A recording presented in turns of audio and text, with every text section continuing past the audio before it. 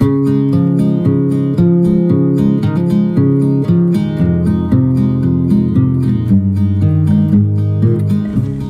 I'm Nikki, and this is my tiny house. We are located in Georgetown, Texas, right outside of Austin.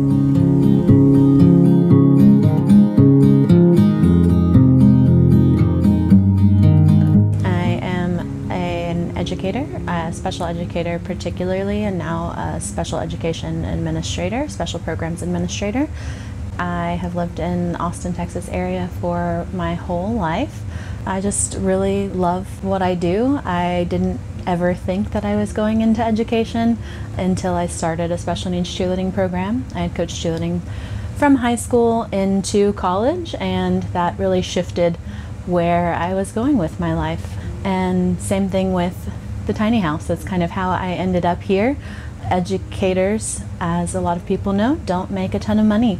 And I sold a traditional house to both minimize and to hope to kind of save some money. And it's been a really great experience so far.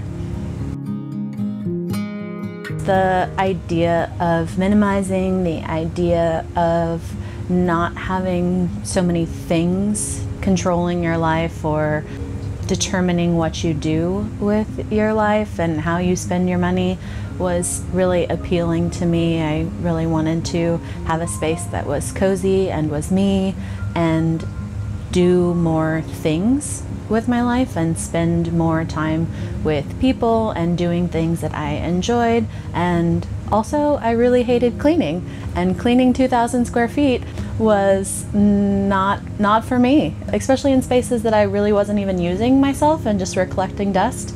It's much more manageable to clean a tiny house, to maintain a tiny house to the standard that I wanted to keep my house. So my tiny house was built by Nomad, which is located in Dripping Springs, Texas. And I have been living in my tiny house for just over two years. It was delivered in August of 2020. My tiny house is 43 foot long, eight and a half foot wide, and 13 foot tall. So my tiny house is parked next to my family's home and we are inside my fence. Uh, we share a fence with a gate with their yard over here.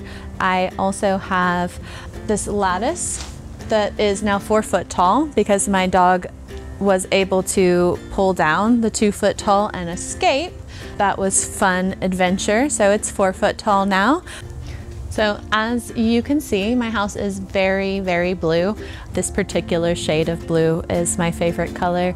I do hope one day to live by the beach and I think this would be a great color to go live by the beach. So that's it for outside and now we'll head on into the house. Let's go.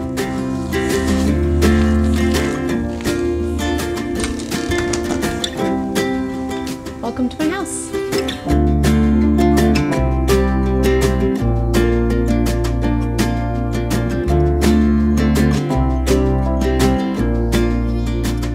As you'll notice, my house has a lot of really great natural light. I have a lot of windows in all of the rooms, including the loft and in the gooseneck.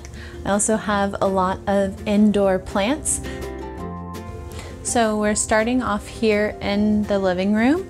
So I wanted the living room to be across from my doors and I do have French doors so that there's some inside outside transition when the weather's nice. Big thing with Texas is the bugs. I've been looking into getting one of those nets so that the air can still be coming in. But the doors do have built-in blinds and I do have the curtains for them. Curtains really help when it's cold outside to kind of keep some of the heat in. This is my office most of the time when I'm not just working from the couch. So I have a table to work from and a bench to work from. It's a lot more space for me to spread things out as I need to. The doggy door also comes in from here and I do have a through fan that comes from the living room area into this room to help move some of that air also. This is my standing desk. This is what I use most of the time in the living room, in the kitchen, as I'm doing other things and maybe still have my computer out for the day. It doesn't really have a home, so it just kind of rolls around wherever is best. And hidden under here, because my dogs like to live in a cave, is a doggy bed underneath the stairs. And then I also have just been using curtain rods to hide my storage that is here and on the other side as well. And there's all my beautiful plants. I added a fan in here as well for the really hot months. And now we'll climb up into the gooseneck part of the house. It is a pretty tight space up here, but I kind of like it. It makes it cozy for when I'm up here for bedtime, for when it's just me time. I also have a projector up on the ceiling. I don't have a TV, so I just have this old corkboard because I was a teacher that I covered in a sheet to make a projector screen for myself. I plan out my clothes. All of that's kind of organized right here. That's one of the things that helps me out in the morning. Now for a brief message from our sponsor, Cook Unity. Do you love to eat delicious food and travel? Well, Cook Unity is your ticket to taste bud adventures. It's the first chef to you meal delivery service. Each week, a diverse group of award winning chefs handcrafts globally inspired meals from vegetarian to paleo and everything in between. The menu rotates so there's always something new to try, and it's made with fresh ingredients, nothing artificial or lame. Meals are delivered fresh and fully cooked, so you only need to heat them up. Quick, easy, and best of all, no cleanup. In a tiny kitchen, that's really appreciated. Tonight we're eating the walnut miso crusted salmon with bok choy and charred napa cabbage by Esther Choi. Each Cook Unity meal is seriously delicious. Ready for your taste buds to travel the world? Go to cookunity.com slash tinyhouse or click the link in the description and use our code tinyhouse50 to get 50% off your first order of Cook Unity meals to try them out for yourself about every three months I go through what I've been using, what I haven't been using, especially as I do still acquire new things. So I think that's one of the biggest things that I appreciate and keeps me thoughtful. It also keeps me on a cleaning schedule, I think. Even though I feel that my home is much cleaner possibly than my last home was. I notice all of the dog hair because of the small space. It's very fall right now. I notice all the leaves that come in, the gravel that comes in, but it also it brings that awareness to what I want in my space and how I am taking care of my space. The biggest thing that surprised me going from a three bedroom, two bathroom house to a 356 square foot tiny house was that I think I'd actually probably go smaller. I still have a lot of things that I don't necessarily need, but I was concerned about the downsizing and I planned for the downsizing for a long time. But when I got into the space, I still use all of the space, but I also feel like I could functionally live in 100 square feet less than what I ended up purchasing. I love my home and there's still things that I would change. I put a lot of thought into my home and there are still things that didn't work for me the way that I thought they would. I thought a lot on the layout, but not as much on like light fixtures or where outlets were. And some of those things really matter in a tiny house and how you set up your furniture. I also didn't do built in furniture because it was less comfortable, as what a lot of people had given me feedback on. And I think that was a good move, but then you really have to think about what furniture you're bringing into your home as well and how that's going to work with your space. Something also to consider is that smaller appliances don't mean cheaper appliances. Something that I didn't mention earlier about my couch is that it also has storage under all three sections of the couch, so that's super helpful for blankets and pillows and all of that extra stuff. And then we'll move into the kitchen space. Something here that's super helpful when I'm actually cooking is that there's an extra table space here. Originally I had a bar stool that I'd sit at and I'd work from here. with the new couch. I leave it down most of the time and just use it when I need that extra space for cooking. I have a gas range and it is under this nice oven cover that I made. I love it, it's great.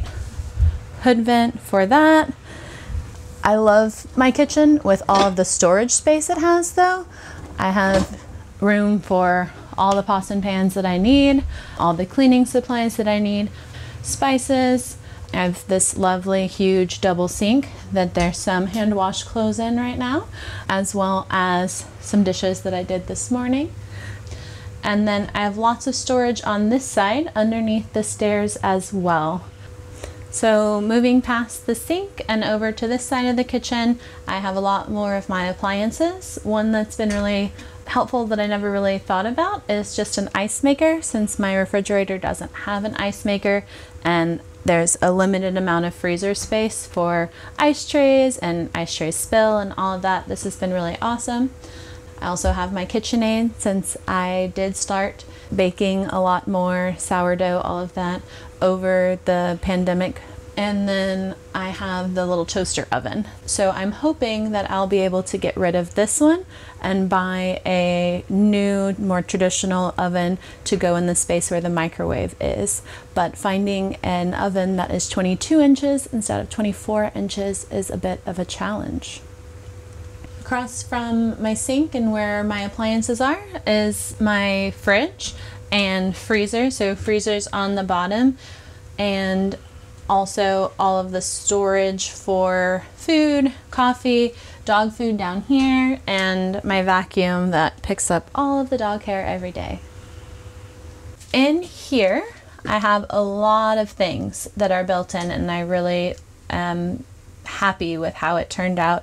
This is my wardrobe for most of my hanging clothes, as well as jewelry and shoes are all in here. Also on this side, I have my incinerating toilet. It looks like a big hunk of metal. It pretty much is. And it can be really loud, so right now it's not running. That is something to consider if you are considering an incinerating toilet, that they are they are pretty loud. I have instructions for using the incinerator toilet up here. For when I have guests over, I have uh, my sink with some more storage built in underneath and some more storage built in back behind the mirror in the medicine cabinet as well. And then I have a shower, not a tub, uh, only on this side. One of the things that I found helpful was a shower curtain that has storage built into it as well. And then I have a washer dryer combination that's stacked. I've actually loved having a stacked washer dryer. I normally just throw all everything dirty in, no hamper needed. The smaller loads have made it a lot more manageable to just do laundry as needed instead of waiting for everything to pile up. So I've really appreciated that. So my parents were not thrilled that I was choosing to go tiny instead of and leave my traditional home that I owned. One of the things that they were concerned about was the quality of the build, and that was also kind of a pro for using a builder that was here in Texas. They got to see some of the homes when we went out there. It was helpful that they also appreciated the builder and the materials that they were using. I truly feel like my home is like any other traditional home. It's just built on a trailer. And their concern was with some of like the prefab or some of the mobile homes that are built with less high-end finishes, like some of the park models even where they're not made out of a wood, they're made out of Hardie plank or something else that is not going to hold up as well.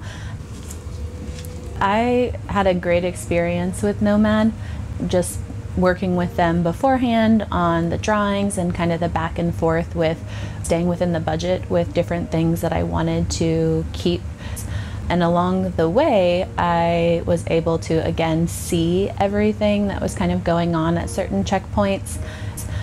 When I purchased my tiny house, it was again March of 2020 and the cost of lumber had not changed and I had already signed a contract. So I was very fortunate to stay at 85,000 for uh, 356 square feet a almost as big as you can get tiny house. Since March of 2020 I know that the prices have really changed. Um, the market has really changed because of the cost of goods and supplies. So I am very fortunate to have bought when I did. So now we'll head through the kitchen and back to the second loft. This one is only three to four feet. Up here, this space, as you can see, is much tighter. We're currently above the bathroom and I have our dog bed over here. This loft, again, is most of the time used for my dogs. They pretty much have their own queen size bed up here most of the year, but when it does get pretty cold, this is the warmest spot of the house. So a lot of times I will come up here with them during the winter or even sometimes on the weekend just to spend some extra time with them. Living next to my parents has been very positive in a lot of ways. I have been able to rely on them for help with my dogs who are not on camera today because they're very loud and um, would be all over the place. In the beginning, it definitely felt like there was a lot of expectation to see them every day, and I think we've drifted away from that a little bit, which has been nice to still have a separation of space we are connected by our yards basically. There's a fenced yard on both sides and we put up a fence in between. So there's a way for the dogs to go back and forth between the doggy doors on both houses, but also some some separation. We do share, you know, some costs if we get groceries or certain like we share gym membership also putting the infrastructure in the fencing, the gravel, the pad that I'm on, the electricity hookups, the internet hookups, those were things that I did take care of for the infrastructure. My arrangement with my parents has been super, super helpful for me to save money as I've been hoping to buy land. But on a month to month basis, I'm very fortunate that I'm able to save money and not incur any costs with rent or anything like that. So I think in the future I plan to stay in smaller spaces. I don't know that I'll stay in a tiny house for my my whole life, but I think that I'd love to buy land and put several tiny houses to be able to provide that living space for other educators, just knowing the struggles financially and with housing that we face.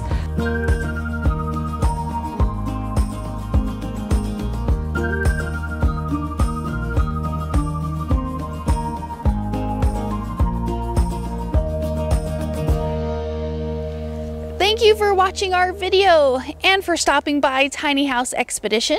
I'm Alexis. And I'm Christian. Don't forget to like, comment, and subscribe. And for more tiny home tours and stories, click the videos below. And join us on Instagram for bonus content, including face to face conversations with us. we hope to see you there. All right. Thanks, guys. Have a good one.